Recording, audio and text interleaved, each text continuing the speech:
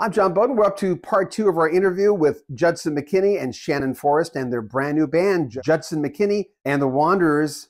A very, and I say this a lot when I describe this band, I'm all, telling all my friends about it. They're very primal. They sound like the Stones at times. There's a glam rock part of who they are. There's certainly a devil may care part of who they are. But Shannon and Judson have been working on this project for three years. Now, in this clip, we're going to start as we did with the clip yesterday. It's an hour and a half interview where we talk to Shannon Forrest about his career, a lot of Toto, some Steely Dan, Michael McDonald, and then we'll talk about Judson McKinney and the Wanderers in the second part. Shannon's one of my favorite drummers, and I love the way he breaks down things. I love his mind. First, Shannon Forrest on Rock History Book.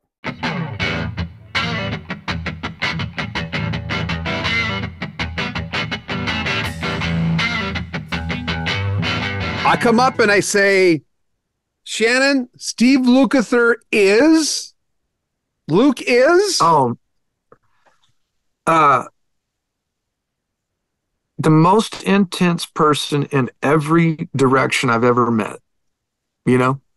And and and and, and I owe him so much because when I came in in 2014, man, my I love this about it. I love this about it. When I say there's a certain insanity that is sanity to me, you know what I mean? It's like I got, I showed up that first time. I made an assumption. Now I've played with Fagen. You know what I mean? I've done some things. I'm thinking, okay, rehearsals. I'm the new guy in. I'm basically subbing for Keith Carlock temporarily, whatever, you know, there's whatever.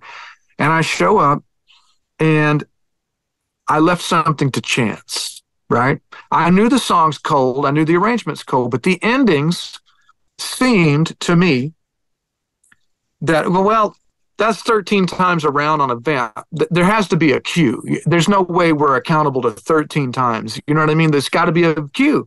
So I'm figuring we'll work the cue out. We'll talk about this. You know what I mean? We'll, we'll, we'll, we'll, and man, the nuclear i call it nuclear you know what i mean? The nuclear reaction i got for for for that slight amount of unpreparedness was like man i mean like being thrown in a drying machine of of nerves you know discombobulating you you know what i mean? Like whoa now now play motherfucker you know what i mean? Now that you're rattled to your dna level now play you know what i mean?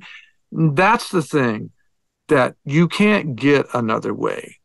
And Lukather's uh uh be you know, like again, it's back to that Jeff thing. And all those guys have a, a particular brand of this. Paich, Lenny Castro, there's a part of themselves that they never filter, you know?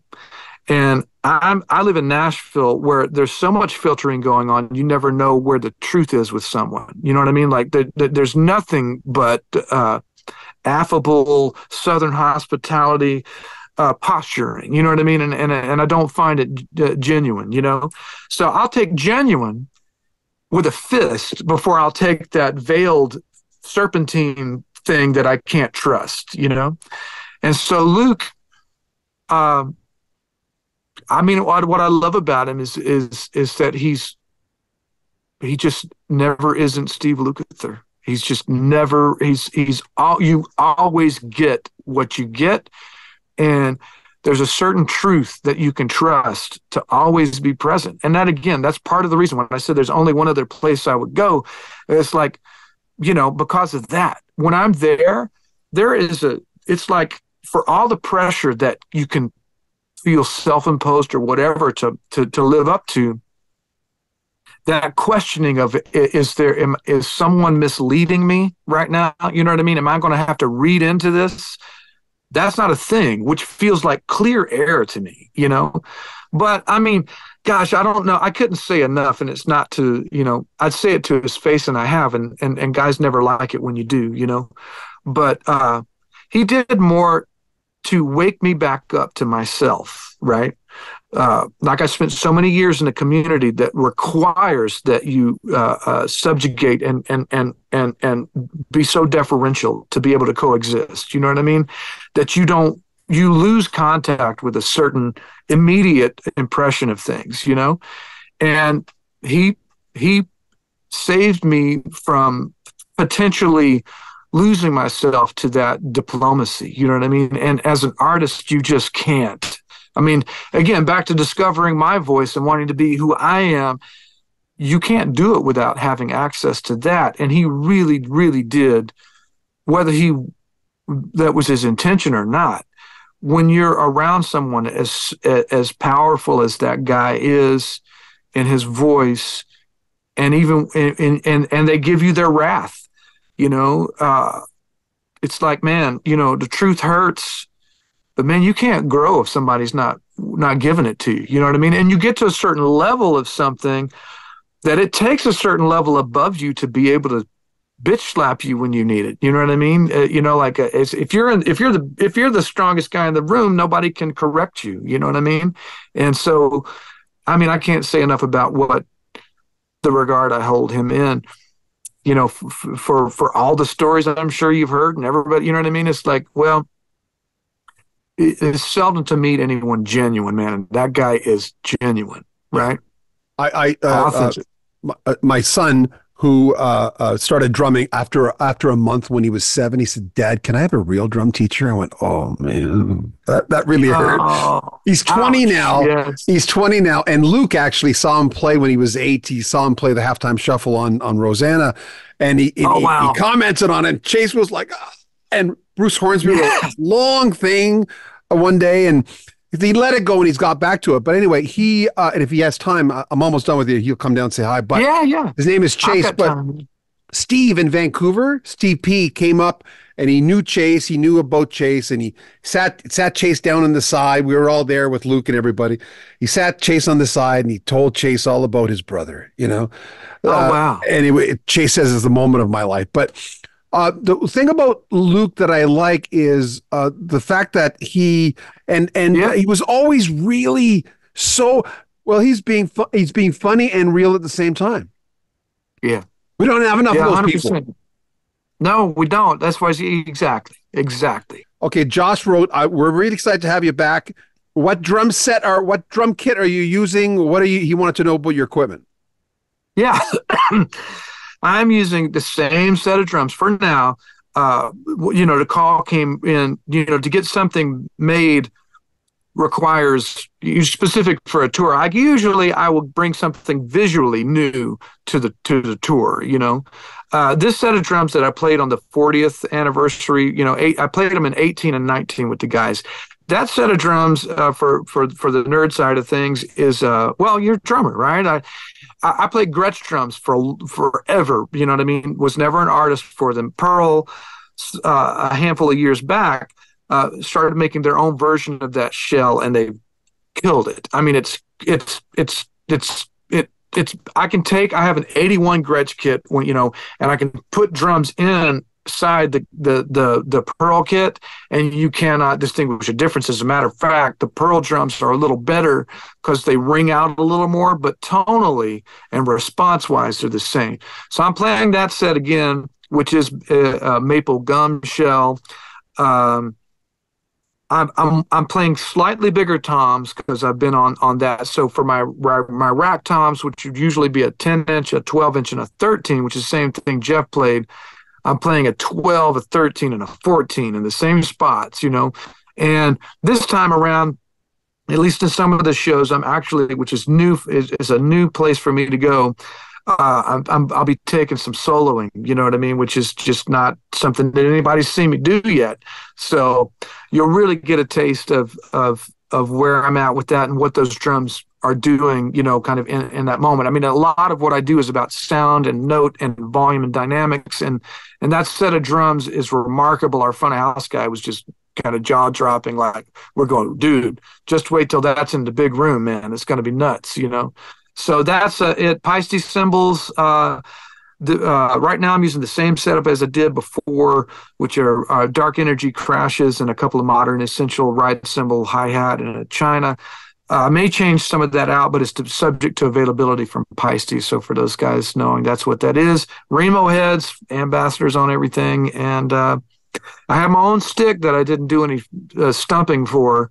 Uh, that's a really good design. This innovative percussion makes my stick, and and and you know, a lot of drummers get off in this esoteric thing of trying to design a stick that like like well, I mean, I don't need it to play backwards. You know what I mean? Like it, it's uh, my design was about what we've had. What's happened is that new growth uh, wood, that fast growth wood that they're using, that they harvest for making things, it's much less dense than wood even from the 90s was, right? So my stick weight uh, for an 8A, which I've always used, uh, the stick weight was starting to drop to the, you know, 10 or 15% sometimes in, in, in overall weight.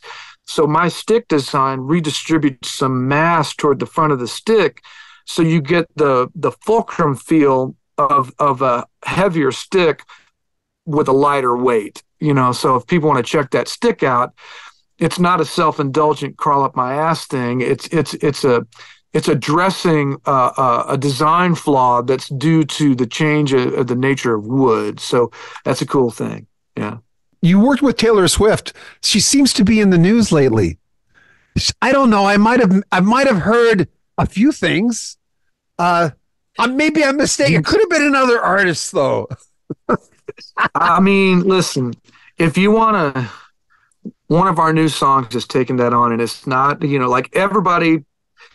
We got everybody's got to pick sides on everything. You know what I mean? Everybody. That's why I don't talk politics side. on my channel. Well, the problem is, and real simply, is like they've they've split conflicting issues across party lines so that you can't you can't achieve change right? So some things that don't belong in one party are are purposefully held over there so that we can't get underneath and change the outcome of the establishment. Short short answer, right?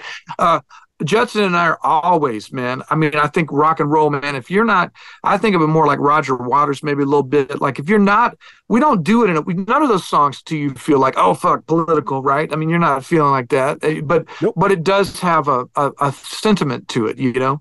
The Taylor thing, I can say quick, you know, kind of short and uh, concise. I mean, I, I I met her the first time when she was 15.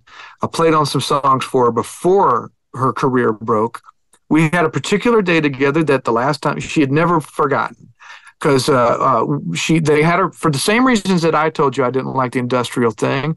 We were recording all day.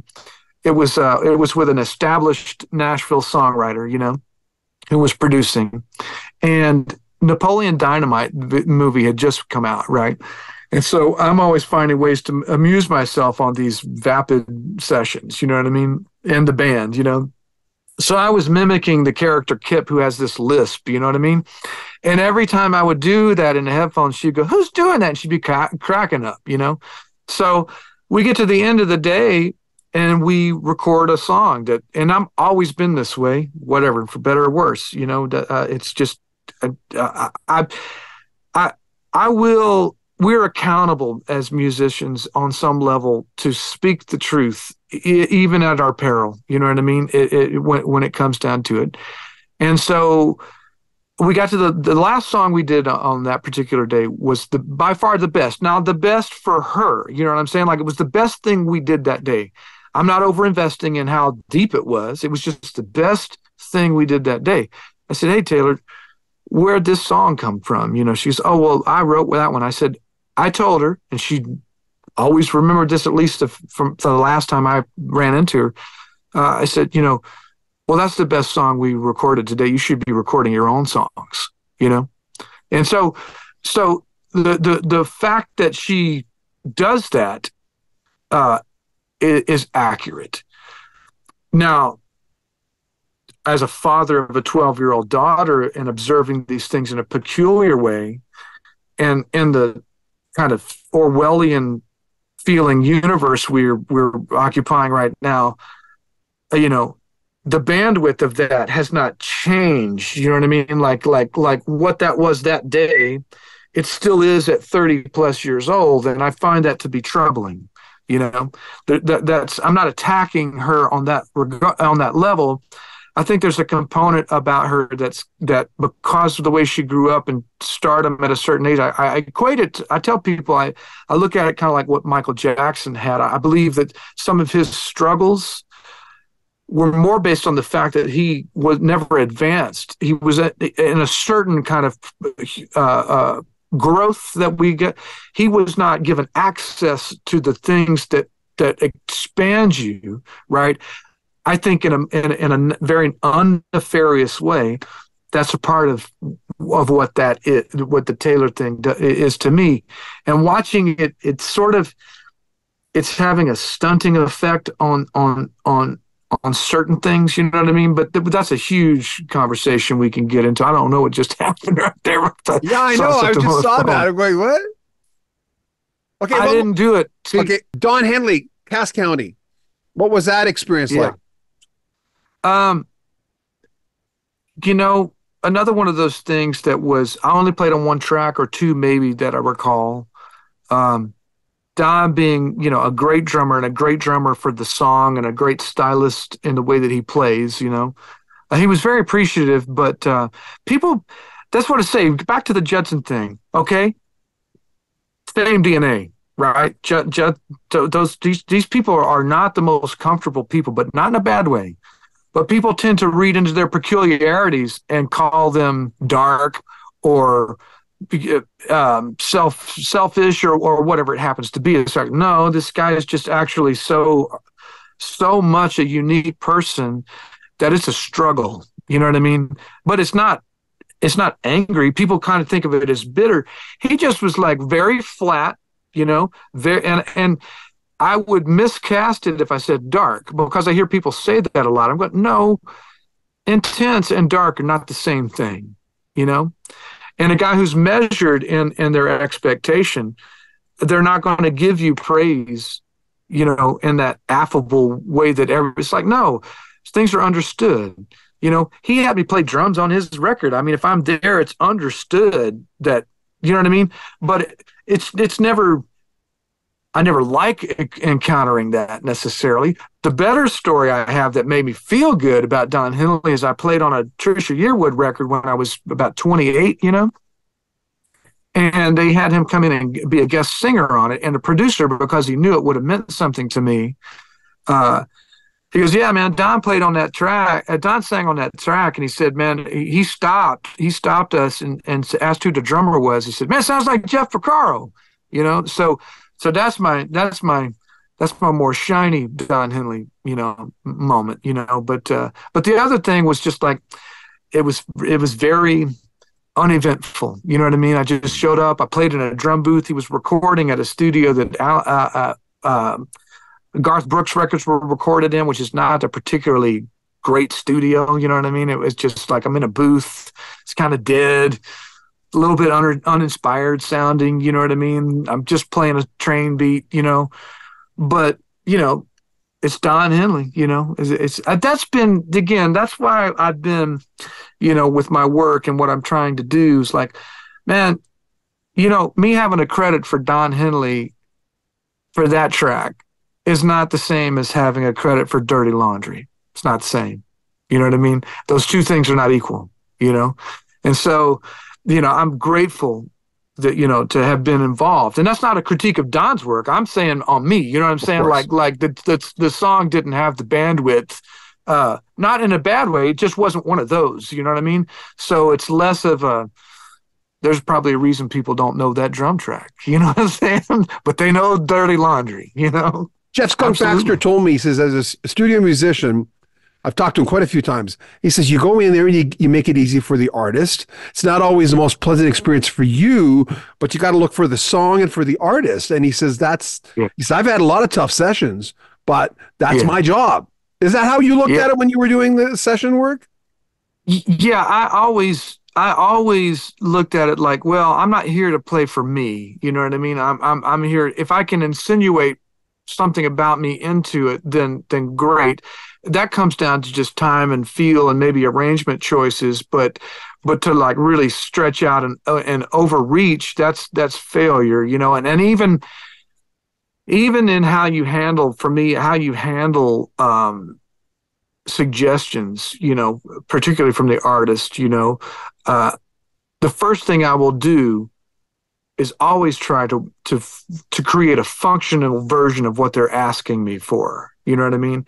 And and and then if I feel like it, I'm not there, like going, I ain't gonna play that because that's gonna make me look bad. I mean, there I have warned people at times. I've literally said to some younger artists at, at when I was doing lesser and lesser sessions, and because it was needed to be said, I said, you know, I, I I'm happy to play that for you, but you might want to look for the opportunity for someone to play the next thing that the next person asked them to play. You know what I mean? Like, like because it was so, what we were doing was done so many times. It's like, yes, that will work. You know what I mean? But there's nothing about it that belongs to you. You know what I mean? And and and, but it. Most of the time, I won't even go that far. If I can make what they're asking me to do feel musical, I'll just play it. You know. There's a, a word that I don't use very often in music. There's a primal it's funny. I was just talking to a lady who wrote a book on Yoko Ono yesterday, and we're talking about primal screaming uh, about with John. Uh, there's a primal side to this stuff. I mean, uh, Liberty Bells, uh, so true, G- glammy. Mm-hmm. I remember going, this yep. is kind of yep. this is like Mott the Hoople meets Sweet meets 2023. Yeah, thank you. Yeah. Tell me about. Well, uh, tell me about. Uh, well, before we go into Liberty Bells, uh, so true. Tell me about that one. That was another title where Shannon said uh, hey man, uh, can, can you come up with something that's like where it's like you're so true, you know? And then I started noticing everybody on social media is like, so true, girl, you know, so true. And he really wanted me to take this sort of uh, hard line angle on the sarcasm, which I don't think I ended up doing. It's a little bit more, maybe the feeling of it's a little bit more ambiguous, but it almost feels more menacing that way. I think. Well, the, the and the beauty of that process uh, is that you know I was very reluctant uh, to participate in writing. Uh, I was I had been doing more and more of it when I met Judson, but when when we met, it was just like, all right, well, I just got to get get over that and and just really apply myself. And so when I would bring something to the room, I desperately hope that he's going to bend it away from my own understanding of the idea. And that's when you get something really unique is when you get you truly get a collaboration where there's a particular point of entry into a thought but now it's affected by two or you know or more uh, points of view and then it becomes unique but uh, there's a couple of really cool things if you got some go ahead i was just thinking you know we're inundated with so much stuff you know like you know they're talking about like you know possible conscription in Europe and World War Three and God knows what. And so I think the idea of that song is just kind of like so true. It's like hold my beer while I watch the nuclear, you know, explosion, right? And, and one more thing, dig this, you you know, about that track. That's remarkable. Okay, we uh, we don't record to a click track, right? we'll we start writing and if we get a feel on something i'll go play it on the drums while he maybe plays guitar with me on the basic first riff idea. And then i'll go into that and i'll listen to that drum and i'll make a loop of whichever measures feel really good you know? And then as we write you know we use that as what i call like post-it notes.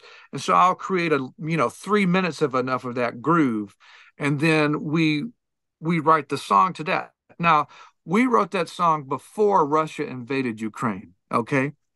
Uh, that had not happened yet.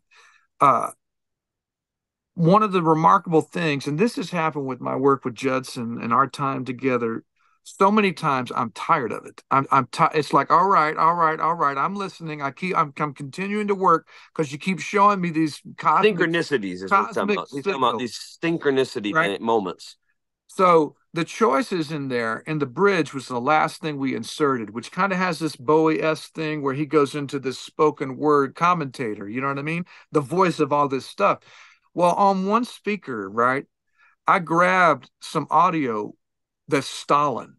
It's, Stalin is one speaker. This is before Russia invaded Ukraine, right? Ho Chi Minh is in the other one, right? And then there's a literal German uh, a parade march with tanks and shit in there that again across this tempo that is not set on anything that we did other than feel that fucking parade from 1938 stays in sync with our track for 16 measures you know what i mean and that was one of the first instances of what the fuck is happening you know yeah. what i mean like yeah. and so it's a really cool thing you know A year before the war. Wow. yeah, it's amazing. Tell me about Liberty Bells. I had, used to have a music teacher. He used to say, he says that, that, that it's real, real music. I said, what, what, what's real music? He said, all the stuff here on the radio. But the real, real music is the stuff that really grabs you, right? Yeah. So that's the yeah. thing about this project, guys, that, you know, I was so pleasantly surprised. And when I was getting here late, just speeding, trying to get here on time to my house, I'm going, I don't want to miss this. This is so good. Uh, Liberty Bells. Yeah. Tell me about that one. Well, it's a start a song that I started writing uh, in in the car. I, I often write uh, in a mantra like way when I'm driving, and that Liberty bells in the pouring rain. You know, that just kept going on and on in my head. And gradually, just as I would drive, I would start to fill in different lyrics. And so I pretty much brought that intact to Shannon's studio. And, uh, you know, we just fleshed out a production for it. You know, we added a chorus, which is really kind of like a refrain. It's, and, and we, you know, we added some muscle in the guitars and, mm. you know, um, that was a particularly great uh, somewhere down the line, and we're going to go back in and retitle some of these live videos so it's not such a deep dive. but there's an extremely uncomfortable six hours of us finding that chorus. Like, like, well, it's got to have a chorus. It's got to release, you know. Uh, so there's two things. One of the first things we did in in my room here I didn't know what to play. He was playing me that song on, on, on a Telecaster and singing it, and so I just played four on the floor. That was the first thing that made sense. I was like, I'm just going to play along with him while he while we document this song as one we possibly will work on. Right. Well, that vocal is the vocal he sang in that room when I was just playing bass drums. So we we made that record around that vocal performance because when you hear that vocal performance, it's those verses are just it's it's epic communication level you know what i mean? It's so so we didn't touch that. We insert you inserted a chorus you know we created that thing and then we just made the record around it you know? Is this an ep that's coming out? And when's it coming out? Well I, would like to get it out as soon as possible. Uh we're, we're we got a couple uh bows uh to tie on how we want to do it i suppose but I'd like to get it out. Well, that's the soon. That's the that's the thing. We we the music is up on Spotify. There is a JMW, you know, Judson McKinney and the Wanderers on Spotify. You can listen to those tracks there. We've been fighting that battle uh moving forward and we've done I won't bore your audience with this, but the analytical study, not the obvious shit that people know that Spotify is bad for artists. There's other shit going on in, a, in an algorithmic way that has to do with more industrial powered shit. So our music, our music is there to call things a release. It's like I keep I keep reinforcing and encourage him. Like, look, the music isn't new to us, but it's still new to the world. You know, like when people go, "Oh, my new single's coming out," it's like, no, it's not. You know, you're uploading to the internet like you and 8 billion other people. You know what I'm saying? Like, so until we get a certain uh, bandwidth, I, you know, figuring out what the release is, you can go listen to the music now. The audience, you know, if, they, if people want to go check out the music, those tunes are there. We're completing a bunch of new work, man. That if you like that stuff, wait till you hear what we're on to now. You know what I mean? And what we're going to do today, uh, you know, probably when we get off here, is we're going to go into our YouTube channel and just playlist all our official videos. So basically, those are full records. Like you know the video for liberty bells the video for uh champion of losers which is our latest one. Um you know so true. So you know people can can dig into what we've we've got out there. Have you heard champion of losers yet? Have you did because that one doesn't show up in the same places as the other ones. Uh, uh, what's the what's the video where you guys you guys are in the back of a pickup or something going through the that's street? it. That's yeah, yeah. that's it. Right on yeah. While I was talking to him, go, right. oh crap, I forgot to put that song's title because I watched it this yeah. morning. Um, tell me what, what's the song you sample or you you do in the beginning? What's what's what is that? Yeah, we tipped the hat to to to loser. Uh, you know, remember the Beck the Beck song? Right, right, yeah. right, right, right. Yeah. I wasn't the biggest Beck fan, so I wasn't. I thought I know that song, but I don't know that song. Yeah, yeah. Tell well, me about that tune. Yeah. Uh, it, it was another, uh, you know, another situation where Shannon says, "Hey, man, uh, can, can you write a song called Champion of Losers?" And uh, I, my mind instantly started going to my recon down on Broadway. I was like, oh wow, there's a whole movie of a movie of experience that I've I've had just being in that.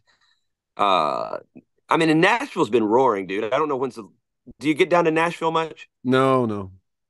Oh man, it's been nuts the past couple years because Nashville was a big getaway from the COVID stuff because w- it was pretty much open, so people started pouring in, and I, that's when I was down there, basically, you know, ha- hacking away at it. And so I had all these experiential things from that time down there, and it just seems like this epic tale of something.